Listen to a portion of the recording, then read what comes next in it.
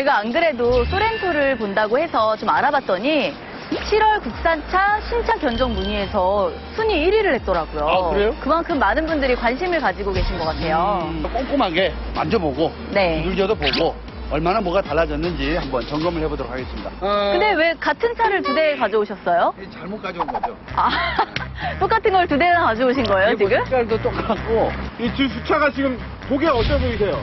똑같아 보여요. 우리 데리고 지금 장난하는 거야. 그러게요. 어? 뭐가 신차인지 모르겠어요. 어쨌든 그러면 어. 신차를 발견하면 되는 거죠? 그러면 이거 시승을 해봐도 되나요? 차에 타봐도 되나요? 안에 타보시면 됩니다. 아 그래요? 자 그럼 시작해 봅시다. 네. 시작! 파이팅! 2016 소렌토를 찾기 위해 요목조목 쳐다도 보고 직접 탑승도 해보는데 과연 아! 이 라이트가 다르네요. 이게 지금 저기에는 이렇게 딱 붙어 있는데 여기서는 이제 사각으로 네. 어, 좀 달라졌어요. 국산 SUV 최초로 설치된 LED fog lamp 고급스럽고 세련된 스타일로 이미지 상승을 노린다. 보니까 이렇게 핸들 쪽을 보시면 네. 모르겠어요. 뭔지 모르겠는데 이 날개가 하나 달렸더라고요. 이게 보통 슈퍼카에 많이 장착되어 있고 아. 경주용 차에 좀 있는 컨셉인데 동급 SUV 최초로 장착된 paddle shift 그리고 국산 SUV 최초로 장착된 동승석 walk-in device. 2015 쏘렌토와 같은 초고장력 강판 53%를 유지함으로써 미국 도로교통안전국 안정성 종합평가에서 최고 등급까지 받은 2016 쏘렌토. 여기에 경고음으로 사고 위험을 막아주고 예방해주는 첨단 안전 사양이 탑재 운전자가 보다 안전한 주행을 할 수 있다.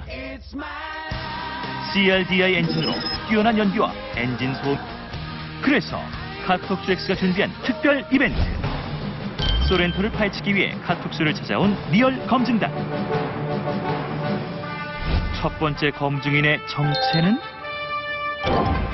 2016 소렌토가 패밀리카에 적합한지 검증이 필요한 김재경 씨 가족. 출발하겠습니다. 네. 어, 출발. 출발할 때 느낌이 나쁘지 않잖아요.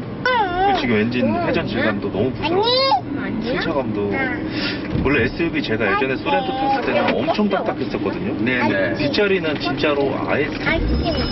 타면은 조금 있으면 애들이 오래 장거리 주행하면 애가 무조건 울었어요. 아. 힘들어서. 확실히. 소렌토는 진짜 뒷자리는 탈 게 아닌 것 같다라고 사실 되게 인식이 되게 깊게 남아 있었거든요. 네. 승환 씨 어때요? 편해요. 넓어요? 맘만 먹으면 누워서 가려고요. 아, 진짜요? 그 정도로 넓어요? 아, 네. 그러니까 제가 앉기에는 전혀 불편함이 없고 제가 어. 키가 167 정도 되거든요.